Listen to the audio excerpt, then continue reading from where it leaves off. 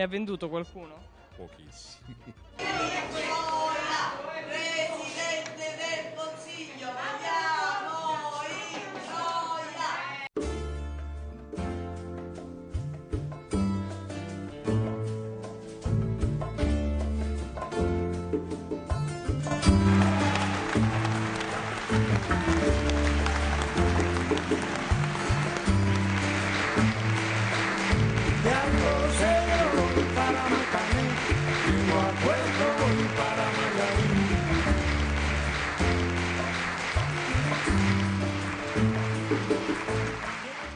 Personalismi, si era detto, ma la star indiscussa, il frontman di questo gruppo un po' nostalgico di Sinistre Riunite, è lui, Antonio Ingroia, unico uomo sul palco. Ingroia si candida o no? Per avere questa risposta dovete ancora pazienza. Dalla platea ascoltano e applaudono, ma qualcuno, forse più di altri, soffre già la mancanza di un pubblico tutto per sé. Per aiutare la società civile a fare un passo avanti, io credo che voi dobbiate fare un passo indietro.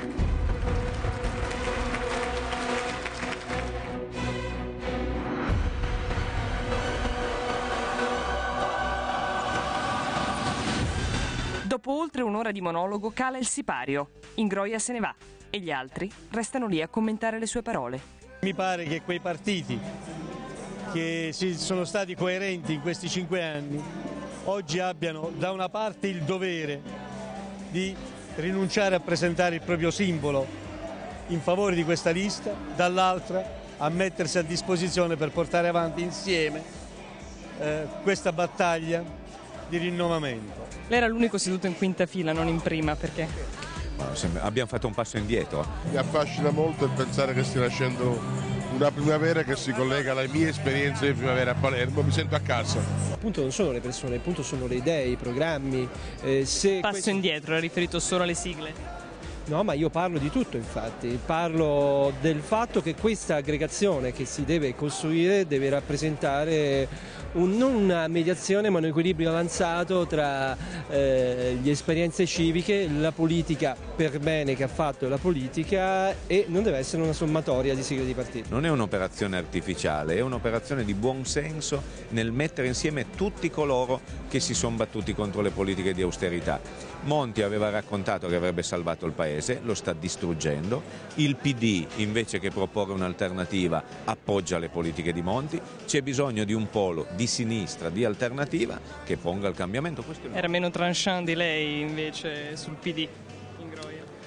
Eh, perché Ingroia è una persona gentile.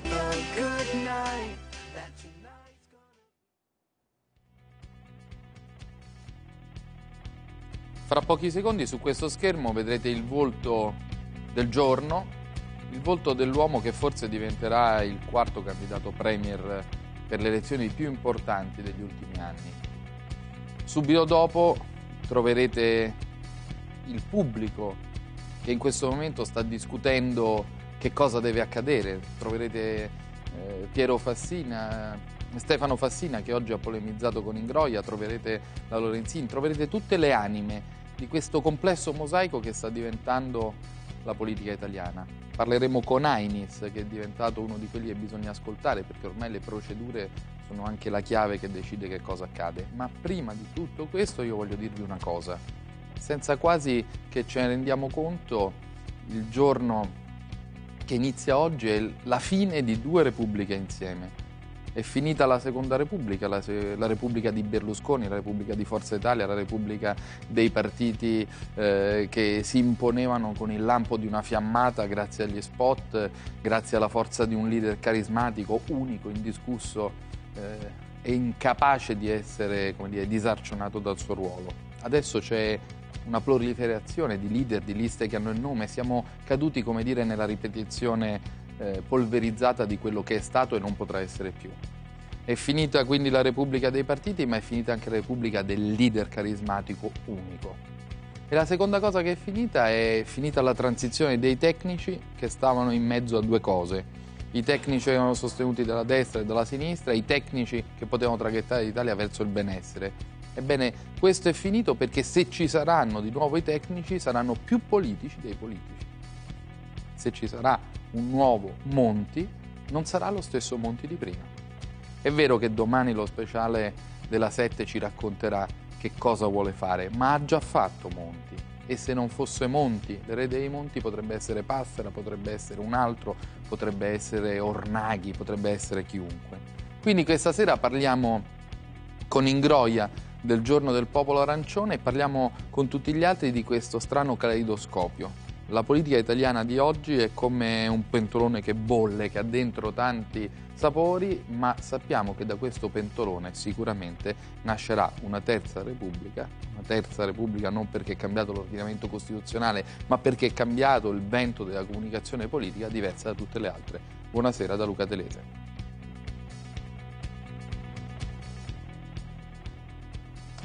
C'è un'immagine che secondo me sintetizza la fine di questa legislatura meglio di qualsiasi parola ed è questa. È durato qualche minuto, era il ministro eh, Elsa Fornero, la stavano criticando in Parlamento dai banchi dei leghisti e il ministro ha fatto non voglio ascoltare. Questo è il segnale della caduta di un governo che è sembrata Neanche Terese vuole ascoltare me. Il tema fondamentale è proprio questo. La caduta di questo governo e la fine di questa legislatura è una fine drammatica, scusatemi eh, l'esagerazione, perché vedere un ministro che ha fatto delle riforme, forse l'unica riforma di questo governo, non voler ascoltare il Parlamento dà il senso di quello che questo governo purtroppo ha fatto di male, cioè non ha voluto ascoltare quello che il Paese stava dicendo, pensava di potersi sottrarre ai riti della democrazia, ha pensato con un po' di arroganza di non ascoltare il Parlamento, qualche volta lo ha ascoltato troppo, secondo alcuni, però quello è il segnale plastico della fine di questa legislatura. Sia chiaro, la legislatura è stata sprecata non solo per l'ultimo anno del governo Monti, perché se no anche noi non vorremmo ascoltare, non vogliamo ascoltare quello che è successo nei tre anni precedenti e sarebbe ridicolo eh, fingere di pensare che questa legislatura si contraddistingue soltanto per non voler ascoltare i leghisti. La cosa fondamentale è che questa legislatura è stata sprecata perché non si è fatta nessuna riforma, non si è riformata la pubblica amministrazione, nonostante Brunetta ci abbia provata, non si è riformata una legge elettorale per cui i partiti decideranno chi sono gli eletti e già stanno discutendo e stanno trattando soltanto su quello. Non vi fate prendere in giro. Il tema fondamentale è che tutti più o meno in funzione dei sondaggi sanno quali e quanti saranno i personaggi che dovranno rappresentare, nominati prossimo, eh, saranno presenti nel prossimo Parlamento. Non ha fatto la riforma della giustizia, niente ha riformato la giustizia e non ha fatto riforme importanti economiche se non quella importante della Fornero che ieri non voleva ascoltare e non ha ascoltato forse qualcuno che le raccontava che c'erano dei danni collaterali per quella riforma importante delle pensioni che ha fatto, se così si possono definire esseri umani che si sono trovati veramente nel mezzo del guado. Insomma, questa è stata veramente una legislatura sprecata e il grande timore, e questo è il punto fondamentale con cui dovremo parlare oggi con Ainis, con Ingroi e con tanti altri ospiti che avremo questa sera in studio, è che cosa ci sarà di diverso nella prossima legislatura. Forse qualcuno che fingerà oggi, in queste settimane, di ascoltare voi e gli elettori in maniera attentissima. E non ci saranno più quelle mani sulle orecchie della Fornero, faranno tutti finta di capire quali sono i grandi problemi del Paese. Poi alla fine però si arriverà a un sistema purtroppo costituzionale e istituzionale che permette anche ai tecnici e anche a Berlusconi, che all'inizio della legislatura disponeva di una maggioranza enorme, di riformare seriamente questo Paese. Questo è il grande tema che oggi in campagna elettorale partiti e candidati dovranno porsi, cioè spiegare come potranno e come dovranno cambiare e riformare seriamente questo Paese. Vi lascio soltanto con un ultimo dettaglio. Questo governo non solo chiude con la Fornero alla Camera con quel brutto gesto, ma che è più volgare di mille altri gesti che le sono stati rivolti o che altri hanno rivolto ai cittadini italiani. Chiude con una legge finanziaria che noi oggi chiamiamo legge di stabilità, ma che è sempre la vecchia finanziaria, che ha portato da 15 a 30 miliardi l'intervento dello Stato, che ha aumentato le imposte e ha aumentato soprattutto le spese come se nulla fosse Questo è il tema che dovremo porre in campagna elettorale e che dovrete chiedere ai vostri candidati durante questa lunga campagna elettorale. Io ho parlato anche troppo, adesso ci ascoltiamo tutti a vicenda e vi, ovviamente, come si dice, buonasera da Nicola Porro. Buonasera a tutti, allora abbiamo una puntata ricchissima, Antonio Ingroia collegato con noi, lo salutiamo subito, l'uomo del giorno, grazie di essere venuto. Buonasera. Buonasera. Buonasera, buonasera a voi. Allora, eh, no Nicola, volevo dirti che oh, ero quasi invidioso per questa trovata Eh, eh, editoriale di eh, oggi. era no? molto telesiana e te l'avrò rubata. Allora, Ingroia, noi siccome abbiamo letto ovviamente sia io che Porro e seguito tutte le cronache di oggi, di questa seconda giornata arancione, una sabato, un'altra oggi, però dobbiamo dirlo al grande pubblico che probabilmente la vede adesso, tranne qualche battuta nei TG. Allora, prima cosa, che cosa intendeva dire con quella frase in cui lei ha risposto dovrete aspettare ancora una settimana per capire se sarò candidato o meno?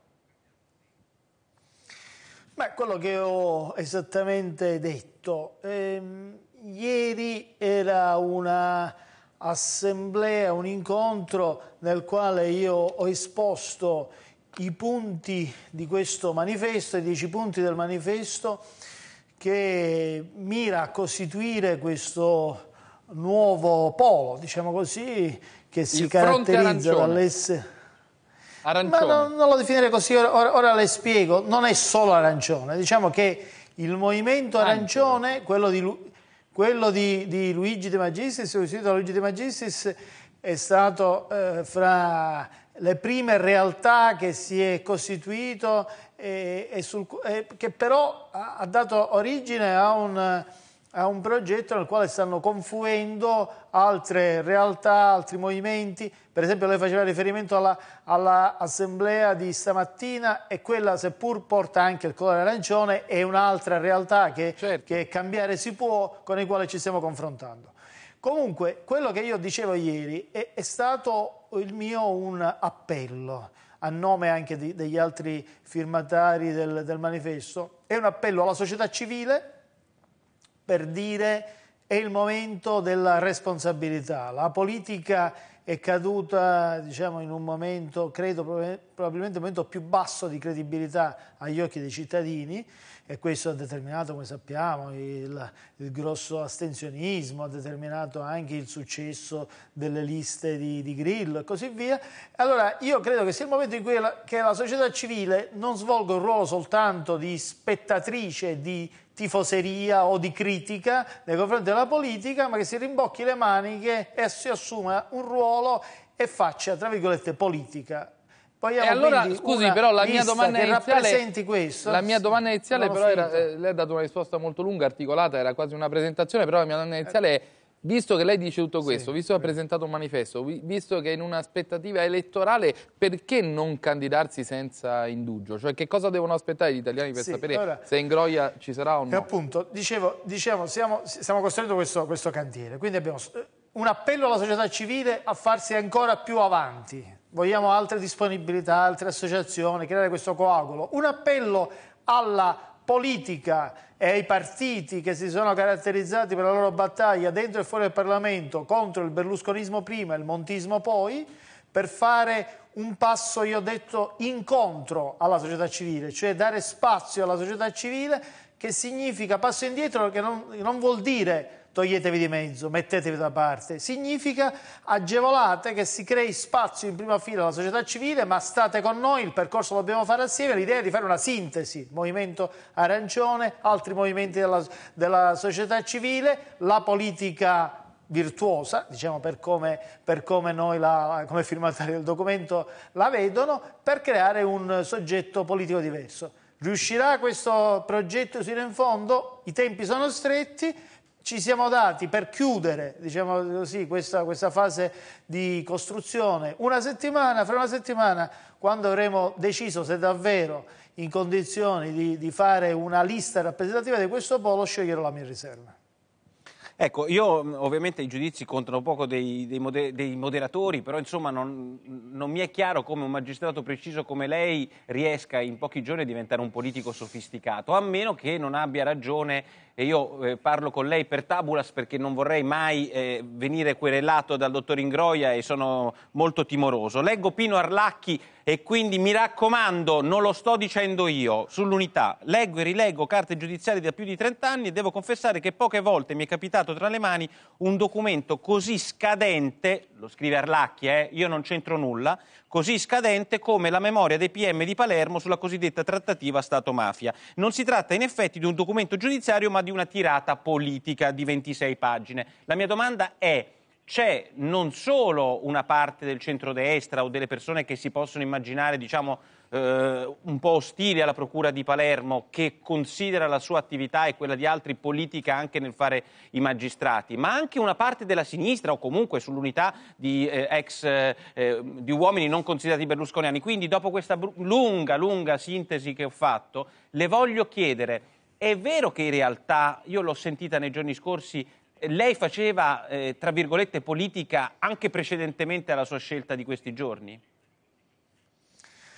Beh, allora, innanzitutto diciamo eh, ognuno il suo mestiere e insomma non credo che, che Pino Arlacchi possa insegnarmi niente né in materia di diritto penale né in materia di giustizia, quindi potrei esprimere giudizi ancora più trancianti sui cosiddetti diciamo, trattati di sociologia dello stesso Arlacchi, ma insomma non voglio inseguirlo, inseguirlo su, questo, su questo terreno. Ehm, il- il- la, la validità di quella, di quell'indagine e delle prove è giusto che siano valutate da un giudice, come sta accadendo a Palermo, e credo che questo giudice debba essere lasciato tranquillo e sereno nel valutare, sentendo la posizione del pubblico ministero, quello della difesa, e trarrà le sue valutazioni. Credo che al di là di questa indagine, di questo processo, le mie indagini, i miei processi e gli esiti di quelle processe, le condanne che sono state inferte a- anche a uomini potenti, da, da Contrada a Dell'Utri, credo che ne siano una dimostrazione. Ma comunque, è questo primo punto. Venendo poi al merito, al solito cliché del- delle accuse nei miei confronti per la cosiddetta politica eh, della mia attività. Allora io distingo due cose nel senso, io direi, più nobile del termine, perché noi dobbiamo provare a restituire dignità a un eh, termine che oramai è diventato come qualcosa di, di sporco e deteriore, cioè il termine politico. Io da magistrato, fuori dalle aule di giustizia, ho fatto politica. Ho fatto politica nel senso che ho partecipato al dibattito politico nel Paese sul tema della mafia, sul tema della giustizia, rivendico questo diritto per me e per qualsiasi altro magistrato che continua a svolgere questo ruolo, al pari dei medici che hanno diritto a parlare della politica della sanità o gli insegnanti che parlino della politica in materia di scuola. Altra cosa è l'accusa eh, che penso peggiore non si possa fare a un magistrato, quello di strumentalizzare a fini politici eh, le proprie funzioni e quindi le indagini, i processi. Beh, io questo- su questo chiedo un confronto non sul fatto che eventualmente io tra una settimana faccia la mia scelta oggi eh, politica, ma per le indagini e i processi. Sfido chiunque a dimostrare che, che ci siano state indagini o processi che io ho fatto non sulla base di elementi di prova, ma in base a, a, come si dice, teoremi politico-giudiziari. Tra questi il processo in cui ho sottoposto a indagine e poi a processo l'uomo politico diciamo, più importante, il processo dell'Utri, le sentenze di condanna che riguardano dell'Utri, eh, sia pur non eh, completamente definitive, perché la sentenza della Cassazione è definitiva in parte, c'è un pezzo ancora davanti alla Corte d'Appello, credo che dimostrino che proprio in quel processo era un processo tutt'altro che, che politico, ma era un processo a un uomo politico con prove molto Dottor rigorose Ingroia, solide, io- come, come io devo- giudici hanno confermato. Con il, con il dottor Ingroia con cui ho, eh, a cui ho fatto domanda, quindi devo regolare un piccolo affare domestico, quindi sono convinto che quella querela che ha fatto quando noi scrivevamo che lei faceva politica e non strumentalizzava le sentenze, quindi quella sarà una querela che mettiamoci d'accordo davanti a tante persone. Insomma, non abbiamo fatto un grande insulto dicendo che lei partecipando No, ai congressi dai, del Nicola, PDC ma che ti metti a fare le eh, transazioni? ma per forza, eh, una volta che ho a dottore Ingroia? disposizione... Guarda, eh, eh, ho fatto- non gliela ho condoni, Ingroia? no, non me la ho condona, fa- eh, Ingroia? Ho fatto, no, dico, ho fatto così tante, così tante querele che mi scuserà se, se non ricordo questo articolo specifico. Mi prendo l'impegno di andare a a verificare. consultare. Io posso Invece, anche andare a eh, questo io punto. che sono meno malizioso di Porro, però sto nella liturgia di questo programma, volevo fare l'altra metà di questa domanda e così ci togliamo il dente, perché eh, Porro dice Ingroia faceva politica e continua a fare politica. Invece lei Nella ha prima parte ha- del sì, discorso vabbè, di Ingroia, eh, lei ha un'accusa contraria da parte di persone come Antonio Padellaro, che- il cui come dire, la cui ammirazione nei suoi confronti non è fuori discussione, è anche promotore con il Fatto Quotidiano di una raccolta di firme in suo favore. E Padellaro usa un'argomentazione opposta a quella di Porro, cioè lui dice uno sbaglio eh, per l'immagine di Ingroia è uno sbaglio che rischia di ripercuotersi sulle indagini di stato protagonista. Ben inteso, Ingroia ha il diritto di scegliere l'impegno politico, ma i magistrati che insieme a lui com- hanno combattuto adesso si sentiranno e resteranno più soli. Ecco, questa è un'accusa più affettuosa, meno polemica, ma forte insidiosa. Cioè dice Ingroia se ne va e li lascia soli i suoi colleghi. Beh, eh, a parte il fatto che diciamo che sono adulti e vaccinati e tanto bravi da poter eh, proseguire da soli è meglio eh, di quanto io stesso potessi fare, però eh, lei sa bene che io da qualche mese sono in eh, Guatemala, non oggi, oggi sono in Italia per- perché ho preso qualche giorno di ferie per le festività natalizie, ma svolgo le, le mie funzioni, almeno fino ad oggi, se non dovessi decidere diversamente, fra una settimana come eh, funzionario internazionale in Guatemala. Quindi, come dire, ho già lasciato soli, tra virgolette, i colleghi andando alle Nazioni Unite. Mm, Non mi pare che, che i colleghi, basterebbe credo interpellarli se, se dovessero loro ritenere qualche inconveniente Ah, eh, relativamente Ingroia, io faccio un, un salto di una settimana e, e- e immagino eh, una cosa che lei non ci può dire ora, cioè lei è candidato eh, Premier. E quindi eh, utilizzo un nostro telespettatore che su Twitter dice Federico, Ingroia mi pare una persona per bene, ma non capisco onestamente quale contributo possa dare alla politica italiana. Sostanzialmente dice non basta essere per bene, non voglio adesso interpretare Federico e- e- ed aver eh, fatto una lotta alla mafia, è importante come ha fatto lei, ma eh, qual è il contributo, la crisi economica, eh, i programmi seri di, di- di austerità che si dovranno tenere o non tenere, le tasse? Cioè qualcuno si pone anche questo dubbio rispetto alla sua discesa in campo. Ecco. Allora, due, due considerazioni farei a, a questo eh, vostro lettore. La prima, che mi pare in qualche modo collegata a, a un eh, luogo comune molto diffuso negli italiani, che purtroppo è conseguenza eh, di quello che eh, molti italiani hanno visto negli ultimi anni, cioè il decadimento eh, anche morale ed etico della classe politica del nostro paese, che fa pensare al luogo della politica come dei luoghi in cui imperversa soltanto il, il crimine, il malcostume, qualcosa di sporco, eh, con il quale le persone appunto per bene non devono infettarsi, non devono esserne contagiati. E eh, perfino anche nel, in quell'editoriale del direttore Padellaro mi è parso cogliere anche questa eh, idea secondo me un po' sbagliata diciamo, della, della politica. Primo dato. Noi invece credo, eh, forse con magari una- un'ambizione che potrà trasformarsi in un'illusione, e l'ambizione, ma credo dovrebbero averla tutti i cittadini, di cambiare la politica. Non sta scritto da nessuna parte che la politica debba essere questo. La politica può essere qualcosa di virtuoso, la politica può ricostru- ricostruire un rapporto positivo con i cittadini. Allora, per ricostruire un rapporto positivo con i cittadini, io credo che la politica ha bisogno soprattutto di cittadini, di non professionisti della politica.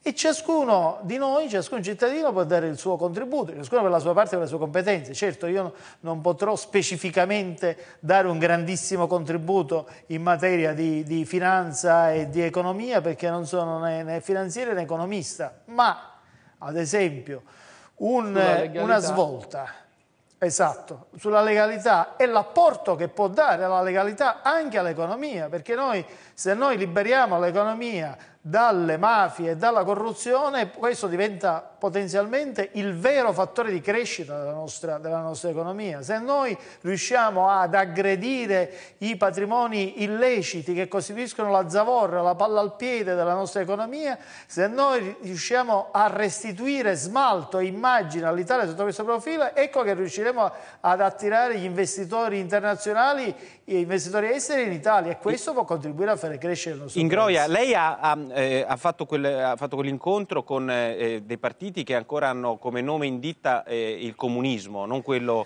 evocato dal eh, presidente Berlusconi nei confronti del Partito Democratico, no, sono proprio partiti che si rifanno a quell'idea, quindi un'idea economica comunque il suo gruppo ce l'ha ben precisa, o sbaglio?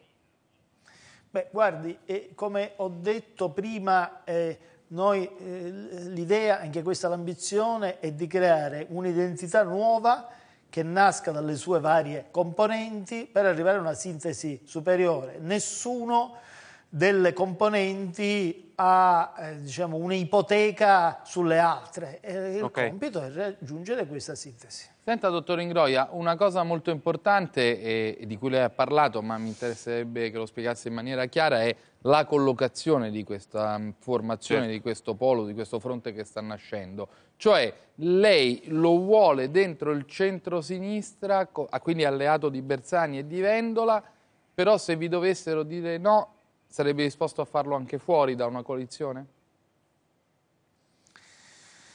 Beh, eh Premesso ancora una volta, scusi se lo ripeto sempre, che sì, qualora fra una settimana in costruzione. Questo... No, ma a parte questo, siamo anche in cantiere in costruzione anche rispetto agli aggiustamenti, diciamo, Vabbè, però della, lei lo, dove lo vorrebbe lei? Politica. Però, Il cuore che però, le dice? Come ho detto ieri, però, come ho detto ieri, noi certamente ci riteniamo alternativi al berlusconismo e al montismo, Bene. non ci riteniamo alternativi al, al centro-sinistra. Centro come ho detto che non ci sentiamo del tutto alternativi neppure al Movimento 5 Stelle, cioè ci sono in questo ah, momento. No, no, aspetti. Delle... E, e, qui eh, lei ha messo carne al fuoco, eh, ha detto una cosa così grossa, deve spiegarlo, cioè eh sì, sto arrivando, vicini al centro sto arrivando, sto arrivando.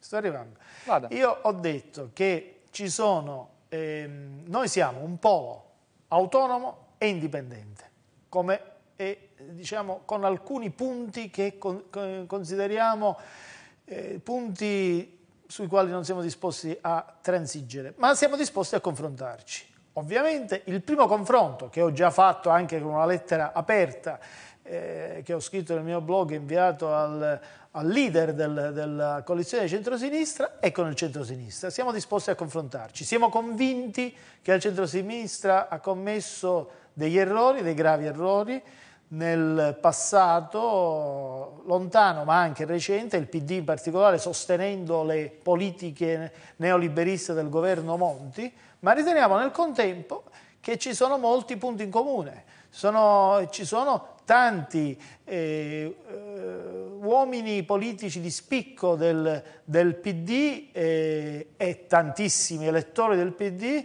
che hanno le mie stesse idee su molte cose. Io non conosco eh, bene, se non eh, qualche incontro diciamo, casuale, il, eh, l'onorevole Bersani, ne ho stima eh, per la sua serietà e competenza e credo che con l'onorevole Bersani si, ci si debba Ma vi siete sentiti in questi giorni? No, non ci siamo sentiti. Senta, Ingroia, ho qui il suo... Pure la pubblicità manifesto. Ingroia facciamo. No, eh, perché ha un titolo pasoliniano. Io so. Io so, si richiama al famoso discorso sulle stragi di Pasolini sul Corriere della Sera. Che cosa sa lei? Non sto chiedendole di fare un estratto processuale, ovviamente, di quelle 26 pagine che non sono piaciute al uh, suo ex collega. Arlacchi. Arlacchi. Che cosa sa lei delle stragi? Perché qui ci sono ben tre capitoli sulle stragi di mafia.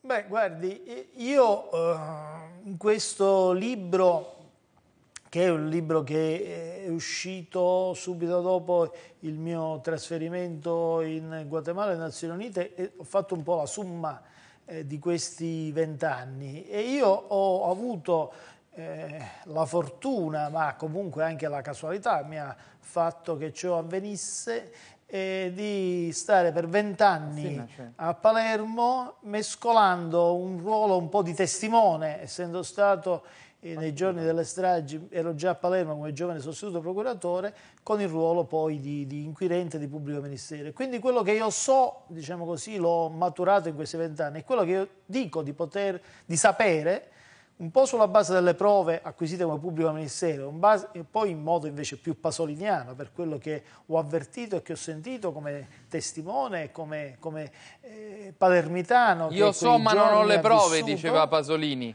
Ma detto Esatto. questo, lei Eh, io, pensa... io oltre a non avere le prove, un po' le, Co- di prove le, le spiegare- Io so e le ho le prove. Le chiedo anche. qui di spiegarlo come se lo spiegasse a un bambino. Che cosa sono state quelle stragi? Lei, la persona che ha indagato di più, a che servivano? Stragi apparentemente Allora, senza... eh, dette, dette- dette- dette in breve, eh, quelle, quelle stragi sono state l'avvio di una campagna del terrore con il quale eh, il sistema criminale che si eh, raccoglieva attorno a Cosa Nostra ha cercato di abbattere eh, un pezzo di sistema politico con il quale aveva rapporti. Tutto inizia con l'omicidio dell'onorevole Lima e poi le stragi servono per rendere diciamo, un effetto moltiplicatore del, del terrore, per ricontrattare una nuova tregua e un nuovo patto eh, di convivenza con la politica e quindi con lo Stato. Senta, Ingroia, io- io la- Detto così sembra il solito teorema No, politico no, no, no, giudiziario, no, ma è. Telese che voleva fare piccoli cenni dell'universo in eh, pochi No, minuti è stato purtroppo. chiaro, è stato è- chiaro, però è- il tema è drammatico veramente, questo è, è difficile. Però quello che lei non sa, e non riguarda ovviamente la sua attività di magistrato, ma che Di Pietro parla, ingroia, eh, e Di Pietro dice l'Italia dei Valori ed io personalmente siamo i promotori della lista civica nazionale che mette insieme tutti quelli che si sono opposti ai governi Berlusconi e Monti, sostanzialmente Di Pietro dice che c'è questa lista civica nazionale in cui c'è anche lei candidato premier. Quindi forse è Di Pietro che non sa quello che vuol fare lei o è lei che non sa quello che sta dicendo ora Di Pietro? Beh, eh, anche, no, eh, anche De Magistris qualche giorno fa aveva eh, proposto e mi aveva diciamo, in qualche modo sollecitato a, a questo ruolo in, in prima posizione e io ringrazio ovviamente Di Pietro per il sostegno e, e l'invito e come sa, come sa Di Pietro la decisione finale la so- prenderemo È vero, no, insieme su Di Pietro, giorno. ma è vero che lei si riferisce anche a Di Pietro quando dice che non dovrebbe stare in prima fila, che non dovrebbe mettere la faccia in prima fila in questa lista? E perché? Io ho parlato in generale, ovviamente Eh, però- era, era presente anche, anche Antonio Di Pietro. Non sa che era faccia che ha fatto. auspicio e un invito, e un invito alla, alla politica, ma io non credo che... Ma perché Di Pietro dovrebbe fare Di un passo Pietro indietro avesse, se promuove la lista?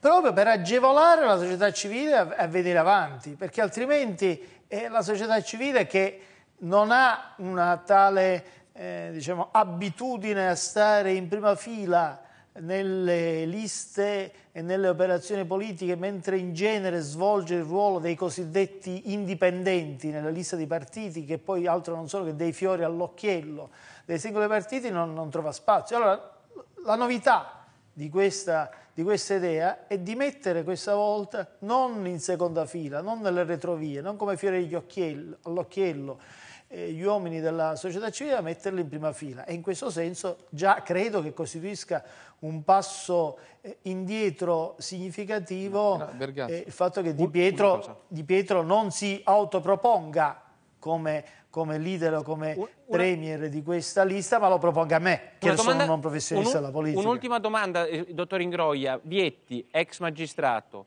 candidato poi eh, diciamo con il partito Con di l'UDC. Col CCD si chiamava mi sembra Sì, sì. all'epoca e poi con l'UDC insomma ha detto beh i partiti non dovrebbero candidare i magistrati. Adesso lui fa il vicepresidente del CSM però pone una questione fondamentale, gliela pongo io, e cioè secondo lei non può ehm, apparire un po' contraddittorio il fatto che un magistrato si candidi, poi mh, eh, faccia una legislatura, due legislature e poi ritorni a fare il suo mestiere. Glielo chiedo perché c'è dibattito su questo. Lei che, che ne pensa? Non sto entrando sul primo aspetto, cioè quello di Vietti che dice addirittura, dopo che lui ne ha usufruito di una candidatura, dice beh insomma i partiti non dovrebbero candidare i magistrati, ma le sto dicendo la parte finale, cioè almeno forse dovrebbero rinunciare a fare i magistrati dopo essere entrati in politica.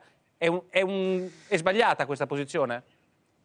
No, no, no, non è sbagliata, è un tema diciamo, che, merita, che merita dibattito e approfondimento. E io credo eh, che si potrebbe lavorare su una soluzione intermedia, e cioè eh, certamente escludere che, che so, il pubblico ministero particolarmente esposto mediaticamente, ogni riferimento è puramente casuale, torni al suo posto dopo un'eventuale diciamo, parentesi politica. Cioè, eh, effettivamente Antonio Ingroia è impensabile che qualora io dovessi decidere fra una settimana, dovessi candidarmi in politica, torno dopo una legislatura E o magari meno. se- è un impegno Ah, e importante. torno a fare il procuratore, è il procuratore titolo aggiunto Ingroia, a- cioè a traduciamolo in Palermo. un titolo di giornale, Ingroia, dopo la- eventualmente dopo la politica non tornerei al mio lavoro di prima. E questo possiamo dirlo così? Non tornerei allo stesso posto, certo. Certo. Si può Ah, rimanere in magistratura, Sì, ma sì, sicuramente infatti Ayala per ben esempio è più tornato, defilato. adesso lei Mi ha fai provato... chiedere l'ultima cosa che me la, proprio me la deve dire. Ci mette un secondo Finisci, in Groia. vai. Che ne pensa del, del 41 bis in queste ore a, a Provenzano, che è uno dei grandi boss della mafia tremenda, che però è in uno stato pare comatoso? Eh, Guardi, però eh, anche qui bisogna eh, uscire da un, mi consento, un luogo comune, e cioè che il 41 bis sia un regime eh, nel quale il eh, detenuto viene sottoposto a un trattamento inumano. Più volte la Corte Costituzionale, perfino la, la Corte Europea dei, dei diritti, dei diritti umani ha, ha riconosciuto eh, che non ci sono violazioni di questo genere. Il 41 bis è un regime che rende più difficoltoso i rapporti con l'esterno e quindi penso che non sia Non segregazione ma isolamento. Lei è passato indenne per il Guatemala, ma non passerà indenne per Dario Vergassola, che purtroppo ha delle domande per lei. Dario, Salutiamo tutti, buonasera, salve a tutti, come va? Ci sono le feste, salutiamo e ringraziamo. Sei? sulla, sono sulla Luna, sono sulla Luna. la perché- settimana politica la faccio dopo e fai subito le domande Certo, però, però io sono sulla Luna e siccome facciamo pure di questa cosa dei Maya, mi sono fatto mandare dalla 7 sulla Luna apposta, che è un piccolo passo per me, un grosso salasso per la 7. Eh. Ci, sono, ci sono degli omini verdi che stanno cercando di prendere posizione sulle sedie per vedere quello che succede in Italia, sono molto divertiti, quindi saremo segri- seguiti anche dai marziani e dico- dirò che le, le domande, cioè le, le notizie viste dalla Luna sono fantastiche. Però c'è Ingroia, lo saluto, buongiorno, e gli vorrei fare un paio di domande. Ingroia, una è questa. Salve, Attento salutiamo Ingroia, eh, stia attento Sa- che lui è, È peggio di noi. Porro, molto peggio di Porro, di Senta, Vergassola. eh, lei, ha chiesto, lei ha chiesto, fra gli altri, di fare un passo avanti anche a Santoro. È vero che ha fatto un forte appello pure a Telese dicendogli per carità tu rimani dove sei? Sciocchezze, dai. Come sciocchezza? Ha fatto, Andiamo ha fatto- avanti, passiamo alla prossima. Vai alla prossima. Senta, qualcuno le dice, eh, in quanto ex magistrato, non si candidi dove ha indagato e non si candidi se ha indagato sulla politica. Sa che se è così le rimane la filatelia e il fantacalcio?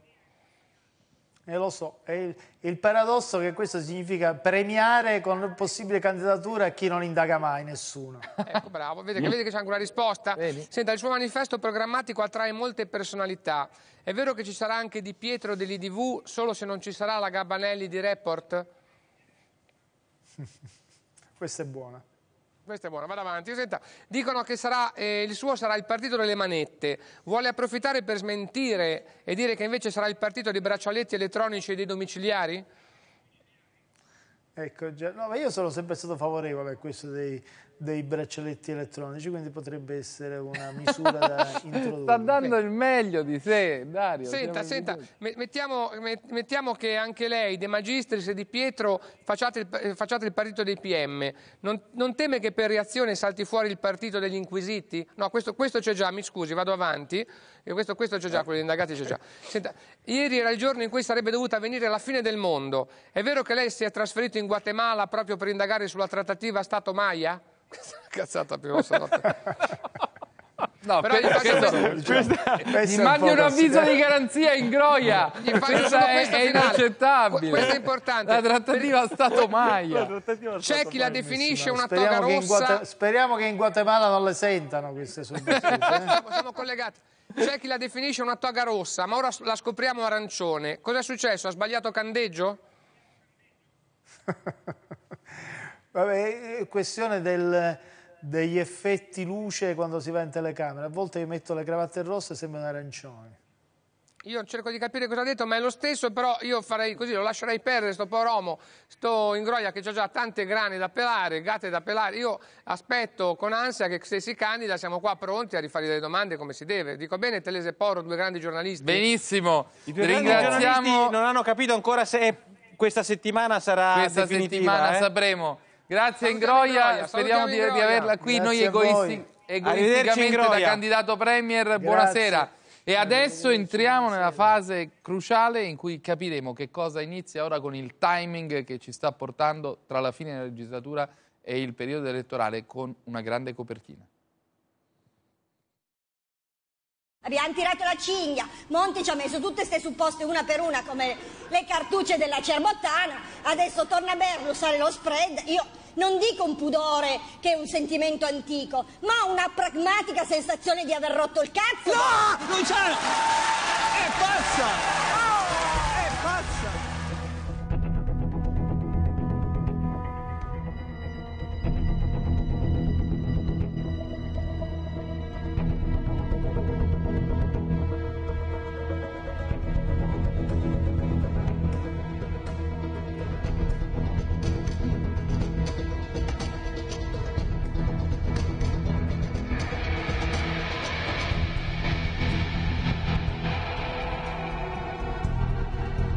Chiesto agli italiani molti sacrifici, ma l'alternativa non era andare avanti come se niente fosse senza i molti sacrifici.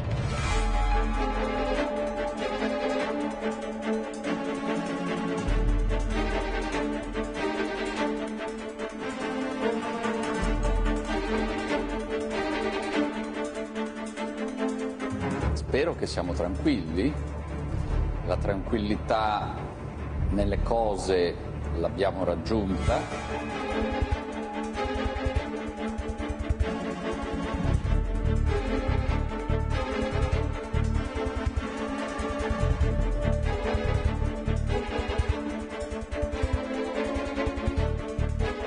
Il grande sostegno che il PPE ehm, ha confermato oggi all'attività del governo italiano.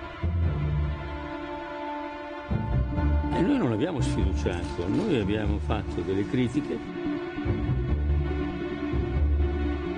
e ho anche spiegato di aver offerto al professor Monti di essere lui il candidato di tutti i moderati. Sarebbe, credo, veramente irresponsabile, non oso pensare che avvenga, dissipare questi sacrifici per credere di ottenere il consenso nel breve periodo dagli italiani di eh, rifarli piombare in uno stato leggermente nirvanico e lontano dalla realtà.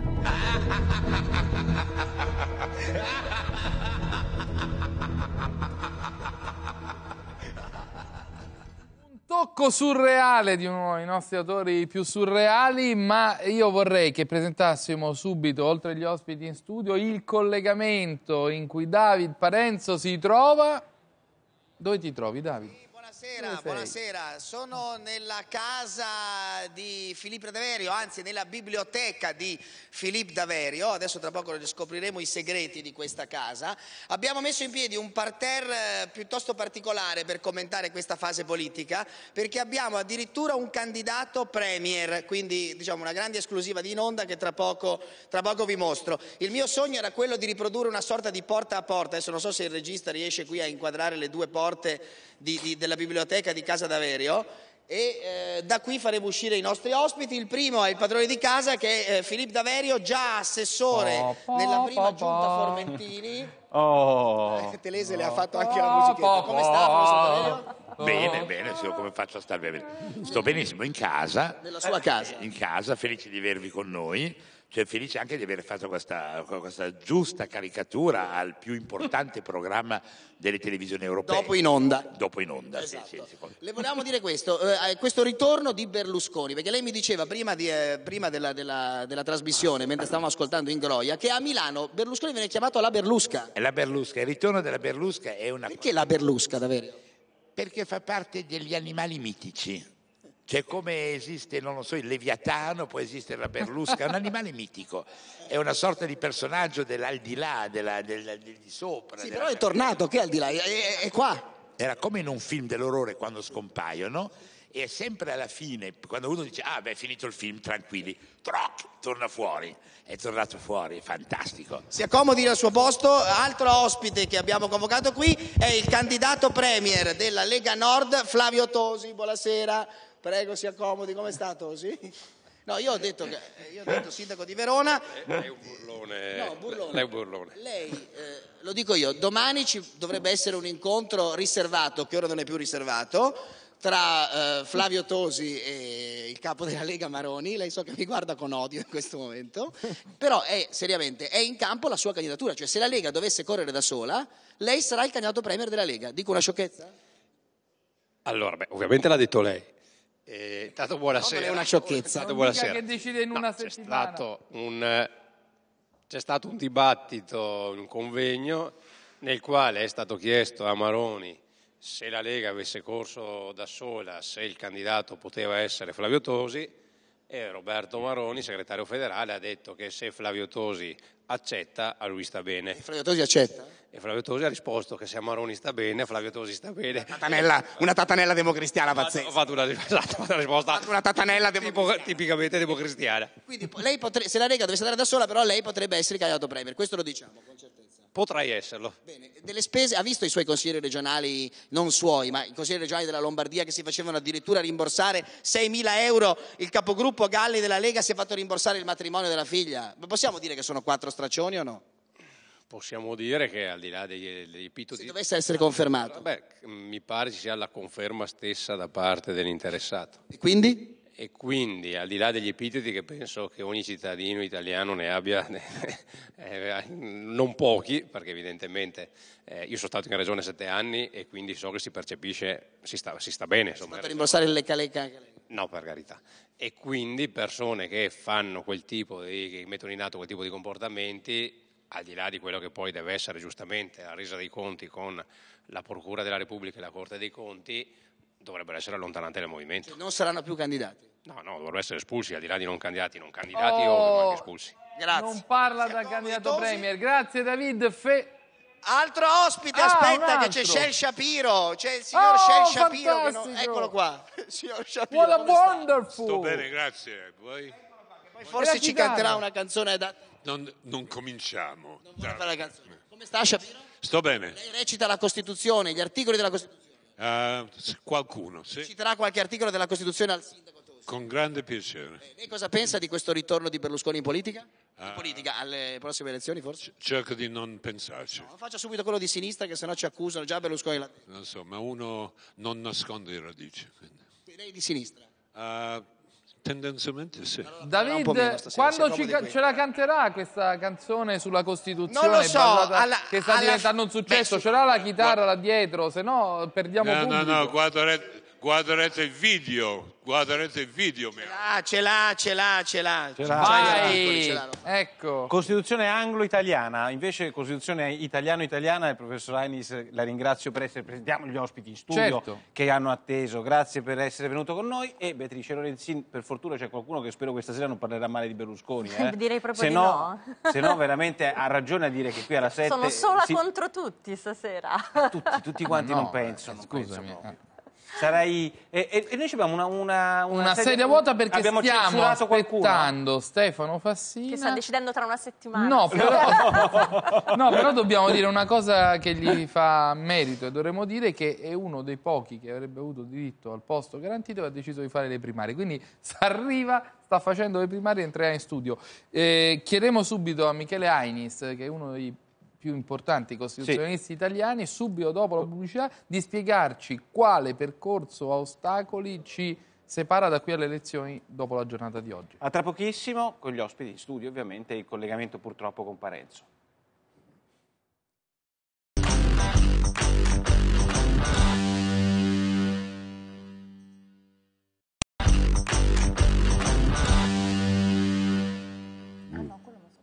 Allora, rieccoci in studio, queste 24, 48 ore che fra oggi e domani decideranno molto eh, in vista delle elezioni eh, anticipate. Ainis, che cosa c'è nell'agenda e perché si sta correndo così veloce e che cosa può ancora cambiare?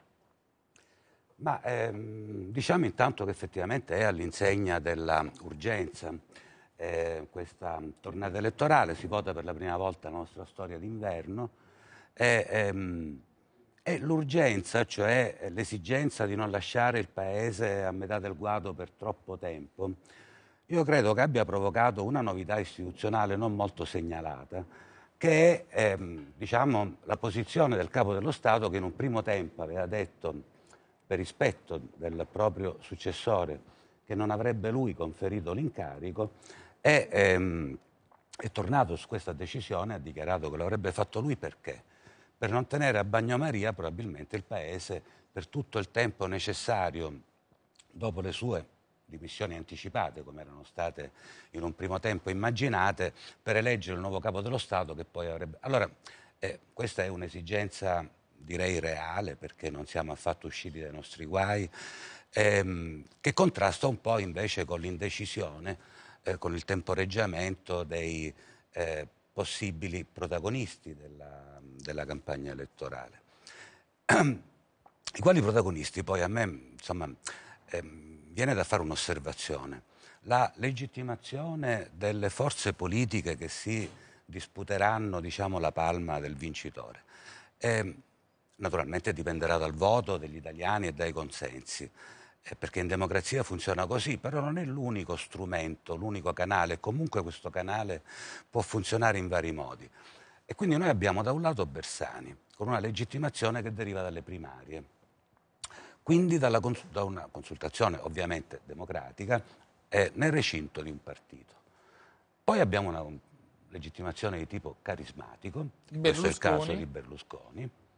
C'è una possibile legittimazione di tipo, adesso non so bene come definirla, quella di Monti, giudiziario. Ah no, quella di Monti. quella di Monti basata tecnica. sulle competenze, dovrebbe insomma un po' una, una legittimazione tecnica più che anche quando anche decidesse di entrare in politica. C'è la legittimazione giudiziaria.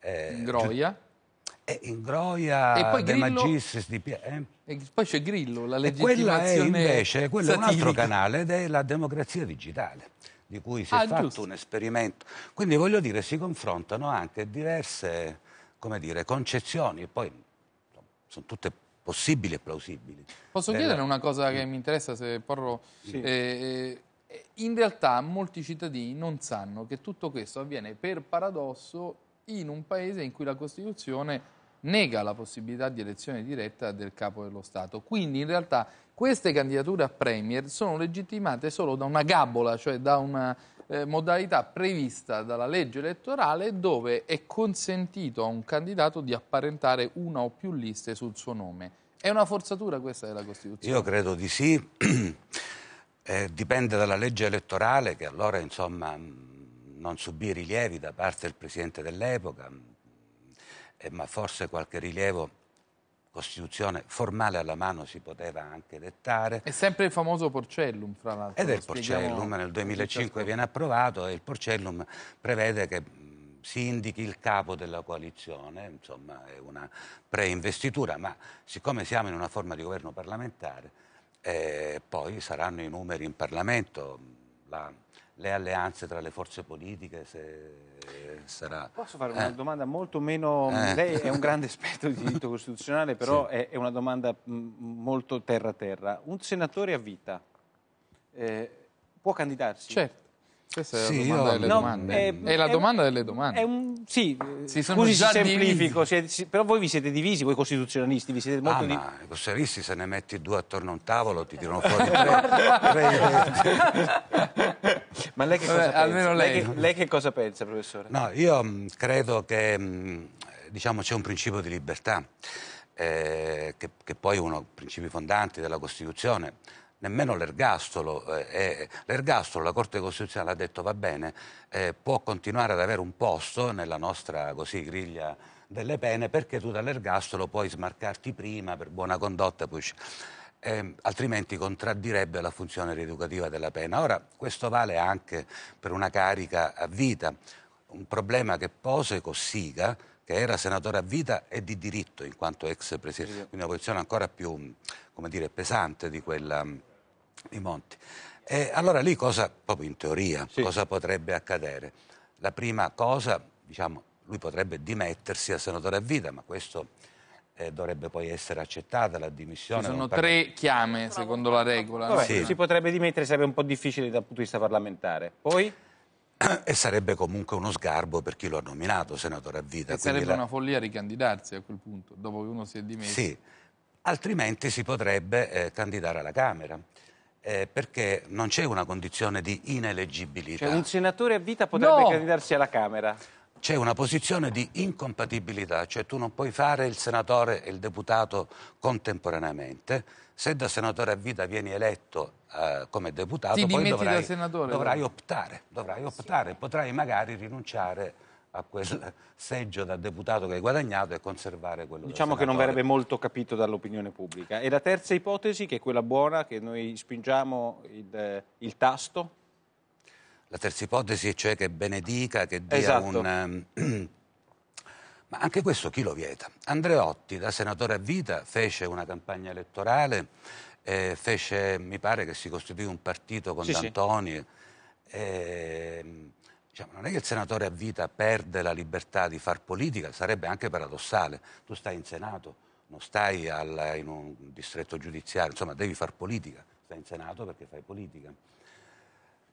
Devo anche aggiungere che la preoccupazione che molte forze politiche oggi hanno manifestato al capo dello Stato che eh, il governo man- si mantenga fuori dalla... Competizione elettorale.